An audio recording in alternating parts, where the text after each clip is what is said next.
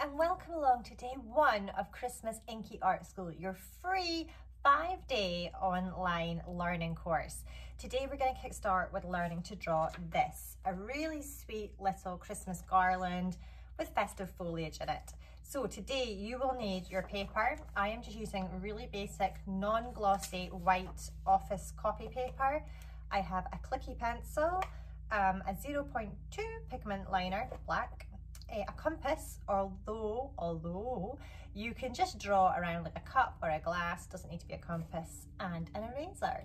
If you would like to see full details of all the materials that I use in Inky Art School, I will put a link below, to the side, above, swipe up, somewhere around where you are watching this video so you can find out exactly what I use if you want to use the same thing. Let's stop talking and let's get drawing.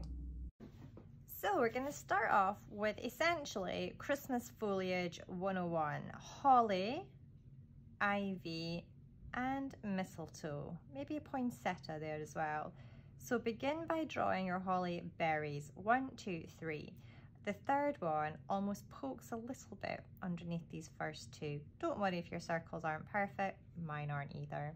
Uh, they're meant to be a bit wibbly. Now I draw a straight line coming out there like that. This is going to be the centre of our holly leaf.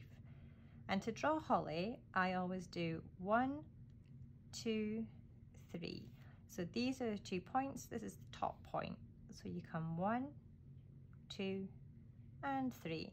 Sometimes they meet up quite nicely and look quite even. Sometimes they're all over the shop and one bit looks pointier and one bit looks skinnier that's all fine. I My feeling is you're a human being doing a drawing. It's not going to look perfect every time. Um, and that's quite nice.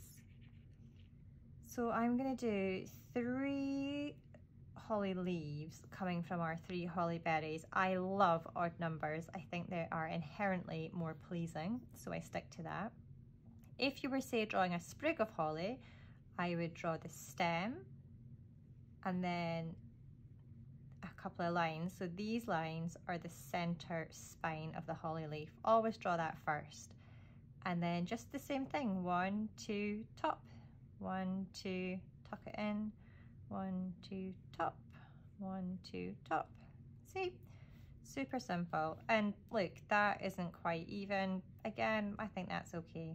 And then for the stem, I would just give it a bit of width double that up to make it into a, a double line. Uh, next, and I'm rattling through these really quick, feel free to pause the video and catch up or try again.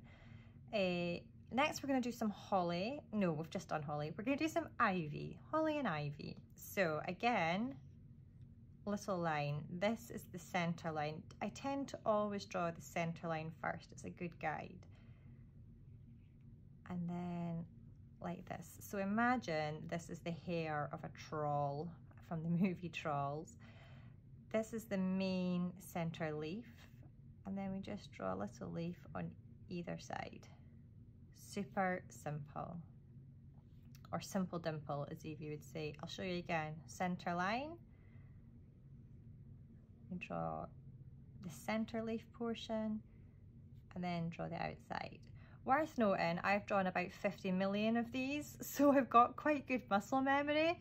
Uh, yours might not look like this, they might be a little less precise, you might be a little more cautious, that's all fine. Uh, it's just practice. Honestly, the more you practice, the better you'll get. And as I say, I've drawn 52 million of these um, in the last five years, so I've had a bit of practice. Uh, next up, Holly Ivy Mistletoe. So again, like the holly, I draw the berries first. I cannot imagine drawing the foliage first. It would be like a drinking cup of soup from a mug. Eh, a cup of soup from a bowl, just wrong. Cup of soup should be in a cup or a mug for that matter, but not in a bowl. Berries first is what I'm saying. So I've done a little cluster of berries there. It actually almost looks like it could be a raspberry. Um, and then for mistletoe, I sort of do these elongated teardrop kind of leaves. these are very stylized. I know this is not what mistletoe actually botanically looks like, but it's how I choose to do it. That one is quite fat. I would maybe almost skinny that down a little bit. But the idea is you have these collections of elongated teardrops coming from the center of the berries and that will be your foliage. All right, we've sort of battered through that. Now I'm going to show you how I ink it in. So I'm just going to grab my 0.2 pigment liner, fave pen ever, and we're going to go over the pencil lines. So as you'll know if you've done Inky Art School with me before, or if you've got the book How to Draw Inky Wonderlands, I draw in pencil first, and then I redraw in ink because I am not confident enough most of the time to draw in ink first. I like to make changes. So just draw in pencil first. I work it all out and then go over it in ink. So I literally go over the top of the pencil lines. Sometimes I'll tidy them up a little bit, add some extra details. I'll show you that in a second. So for example, this leaf here, I'm gonna ink in that center spine and then do a little bit of detailing. This one we'll maybe do a line and some dots. Uh, let's do a few dots in here. I think as well, you sort of find your visual vocabulary when it comes to inking details. So I have a few go-to mega moves that I use a lot. For example, things like polka dots, a little bits of cross hatching, a big fan of a dot, dot dash dot dash sort of broken line. I think that can be quite pretty. The more you draw, the more you'll work out what you like and what looks good. Um, and you just sort of add to your repertoire really. That one's a bit wobbly, but we'll just go with it. For the ivy leaves, I'm going to ink that in like that and I'll show you two different ideas for adding details so just going over the outline here for this one I'm gonna draw in freehand some little shapes inside each of those big leaves and on this one let's do a line and a line and a line and then a few little things like this. Maybe a little dot at the apexes. Now, you can see the pencil lines, they're still pretty scruffy. Don't worry, we're gonna erase them. The, the pencil lines are like the foundation or the scaffolding that kind of holds everything together, but you don't necessarily need to see it at the end, so I erase it. Just go over all these. I'll show you a nice little trick for mistletoe foliage in a second.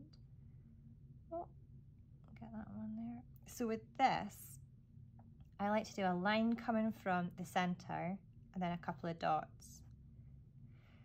I sort of push hard and get lighter with the pressure as the pen gets nearer the end of that teardrop, which gives you that sort of flicky look. So it's sort of like this darker at the bottom, lighter and thinner to the top.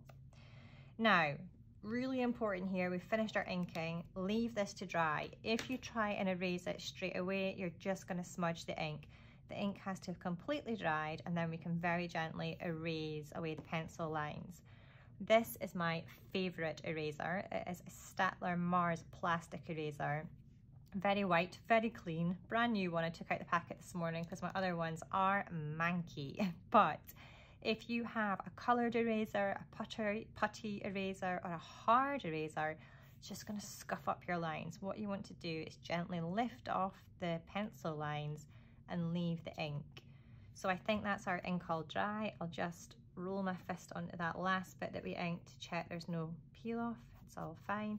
I don't like to like test it for wetness, wetness um, with my fingertip because it's often a bit smudgy, oily, whatever on your fingertip.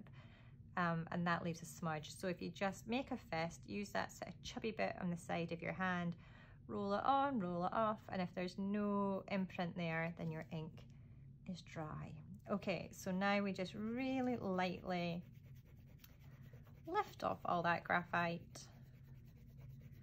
And we are left with our beautiful inked foliage. Right, well, I'll show you something that you can do with this now. So my whole point about drawing is I don't like drawing for drawing's sake. Uh, I've got a whole rant about that in the in the useless panda video. I'll put a link to that below. But I like the idea that you can actually do something with techniques like this. So we're gonna draw a little Christmas garland. Let's have a go at that. Okay, I've got my compass and I am just going to draw a little circle on my paper here. Now, if you haven't got a compass, it doesn't need to be a fancy one like this. I think I got sent this one for free. Uh, just draw around a cup or a glass or a mug. You just need a circle. And what we're going to do is just fill this with Christmas foliage. So for example, we'll start here and we'll do some holly and just gently make our way around the circle.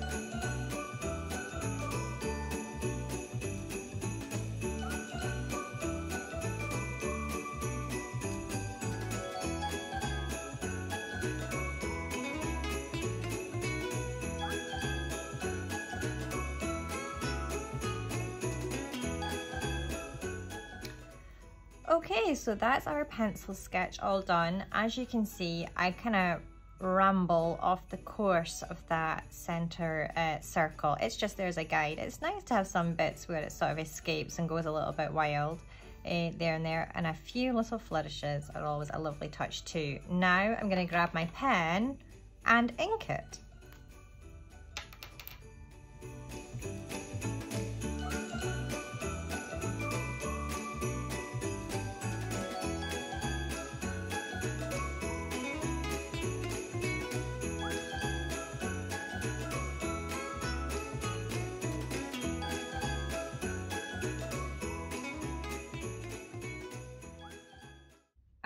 So that's us. I've finished inking the entire design. I'm gonna now add a few little sparkles. I just do these like four little lines radiating from a point. I think it looks like sparkles. Um, a few wee dots. This just sort of breaks up the edge of the artwork. I think it makes it look a little bit magical. There we go. Maybe do one in here. You don't want them too evenly placed either. There you go. Now, wait for the ink to dry and then we will erase and you will see our finished garland.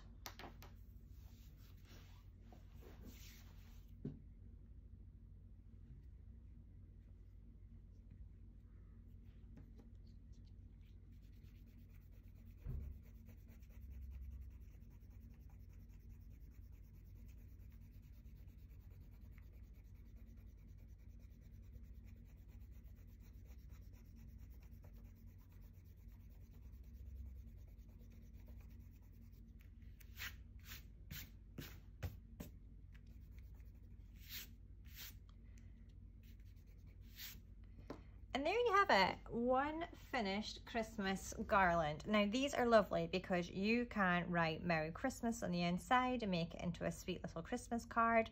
You could use something like this as um, the name settings on your table, your place settings. So you would write like grandma, mom, all those different names inside there. And you could either draw a different one for each person or photocopy them or trace them. I know not everyone will have a scanner at home, especially just now during COVID but that would be your options for, for replicating them. You can either leave it black and white like this or add a little bit of color. If you are going to color, I would recommend using coloring pencils or, I mean, because you're working on loose leaf paper and it won't matter if the ink goes through, you can definitely crack out your glitter gel pens. So that's it, super easy. Thank you so much for joining me today. Please have a go yourself and remember to share your creations. I love to see them, post them online uh, and tag me or upload them to the colouring gallery. All the details are below, above, to the side, scroll somewhere near where you're watching this video so you can find out more. Tomorrow we will be doing day two, which is learning to draw a snowman. So if you want to draw a snowman, pop along tomorrow and I'll see you there. Till then, take care, be kind and have fun.